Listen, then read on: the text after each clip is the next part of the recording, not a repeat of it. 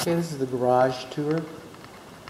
And this is the garage pedestrian door. This goes into the living space.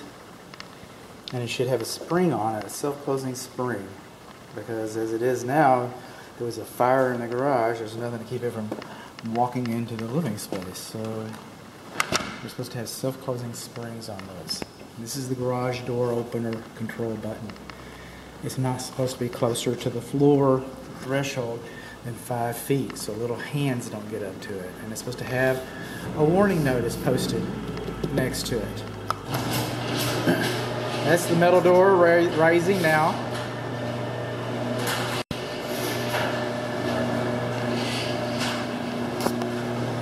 Coming along, the structure faces east. So this garage car entry faces west. This is the garage east interior wall. And this is the main water shutoff valve for the structure. And this valve is perpendicular. That's kind of rough. when this valve is perpendicular, the water's off. If you got an emergency, come turn the water off. That's pretty rough right there, I gotta tell you. Parallel, water's on. So you do have one, it is in there. I see them installed so that when the water's off, the door will not close. That's not the way this one works. There's a thermostat for the water heater. It's a tankless water heater. Of course, it's a year old. Gas sediment trap, GFCI protected. This is your pressure relief valve, not a temperature pressure relief valve, but a pressure relief valve. This is a tankless water heater. It's not supposed to have more than five bends. One, two, three. One going down. Four. One going out. Five. One going down to the ground. Six. It has more than five bends. More than five 90 degree bends. Another thing, City of Dallas, I don't understand we're in Plano, but you have a vacuum breaker in this line. The only way to have a vacuum breaker in this line would be if to have a safety pan installed under here. Some tankless water heaters require safety pans. All from the same manufacturer. This manufacturer, some of them, they're the manufacturer, you read the instructions, some of them require safety pins. Some of them just leave it as an option. Some of them have a strong recommendation. They never say don't put one in, but in some places they have it as an option, so you might want to think about that. This is a high efficiency one, so I'm thinking that it's probably going to, if you can read the manufacturer's instructions, I'm thinking you're going to find a safety pin. This is your condensate line because it captures so much heat and it runs so efficiently. This is your condensate line. And then it goes outside as well. Now, the thing with this condensate line is that's not condensation. That's not water, it's condensate, and it's very acidic.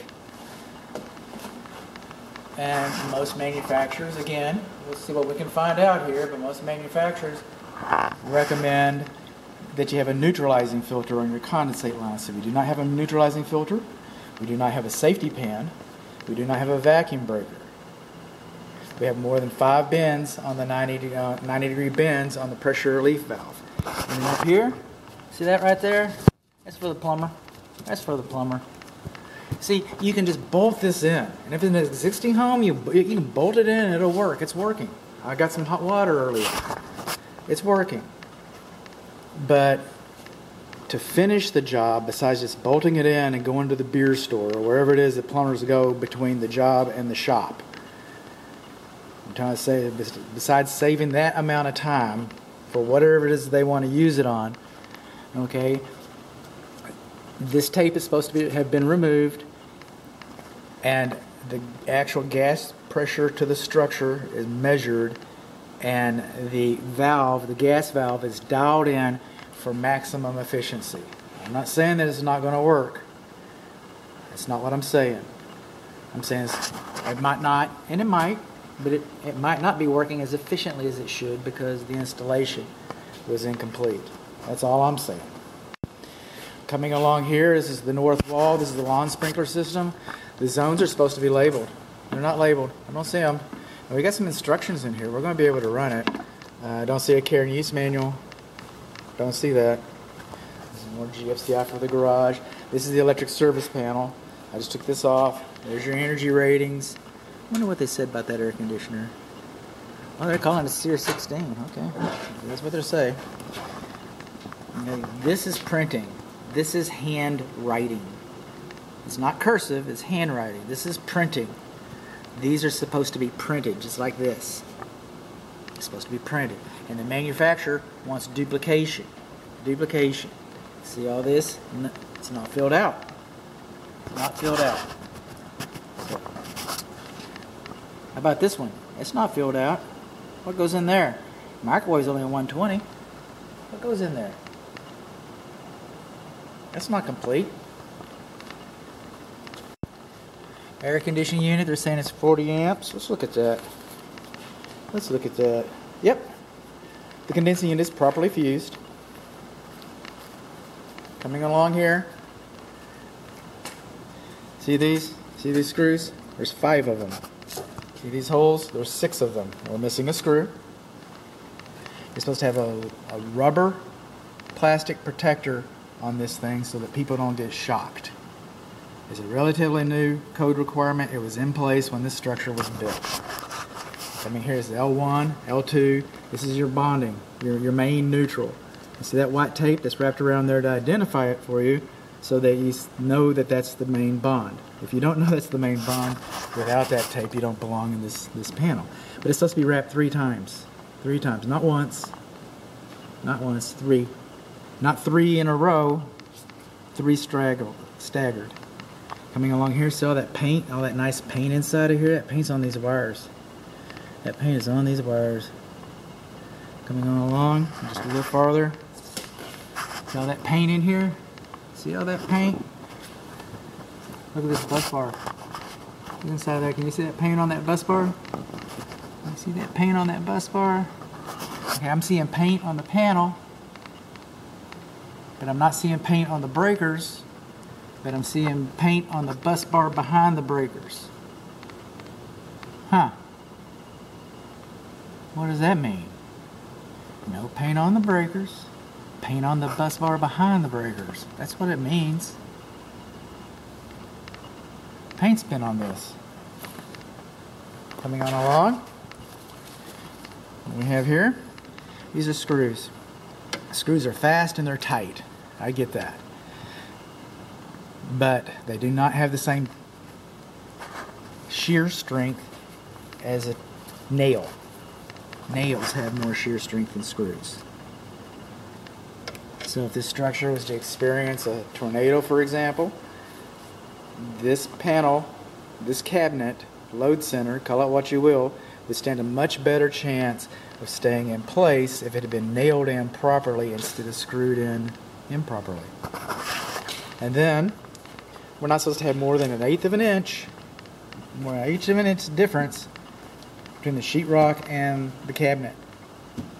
I know that's tight. Oh my goodness, that's tight. They, you know what? They do the windows tight. Oh, that's tight. I know that's tight. You go buy a radio at Hawk Electronics and they put it in your car dash, they'll get it tight.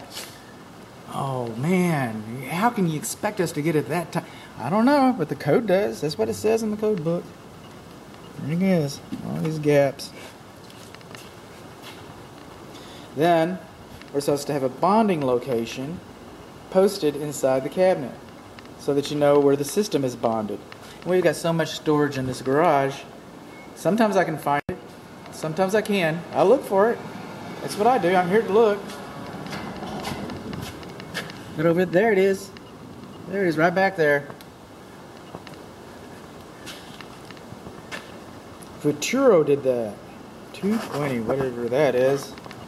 Let's see if I can get in there. I want to tear up all their stuff. It's for warranty work. Do not move. Per Joe. So I don't know. I don't want to take responsibility for that. If I feel like I can do it, okay. Back to the garage overhead door. We got the warning stickers on both corners, like we're supposed to have. We have pull handles inside and outside, just like we're supposed to have. We have the warning notice. We didn't have that warning notice. We did not have this over by the drill, drill button. We're supposed to have one here, and we do. We're supposed to have one there, and we don't. We don't have one there. Coming on along. The optic sensors are not supposed to be higher from the ground than six inches. They're supposed to be secured to the wall with staples, insulated staples. I don't even know what these little junk. What is this? What's that for? That's just weird. All right. And then the manual door lock. Looks like they had it one time. You can see where a screw used to be there. There should be a screw, a bolt stuck in there because as it is now, you can lock it, push the button, and wreck your door. You could, uh, somebody could come home and lock it. You come home and you don't know, and you're tired, and you push the button, you could wreck your door. Now, if the door opener wasn't here, you'd want to be able to use that. But since the door opener's in use, then that should have been uh, disabled. Just should have. There's another optic sensor right there. Weird junctions. Uh, higher from the sidewalk. See these little ants right here? Nobody likes them. They're nobody's friend. They're not wood destroying insects though. There is a wood destroying insect ant, but that's not that's not it. None of the windows have screens. It's pretty typical with new construction. Let's try this. Bear with me, or you can just bail because this basically we're done here. And then I run. Help me! Help me! Help me! There we go. The optic sensor works.